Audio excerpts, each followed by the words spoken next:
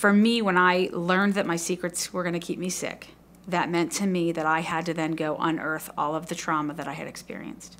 So these are the things that I used over. These are the things that I ran from.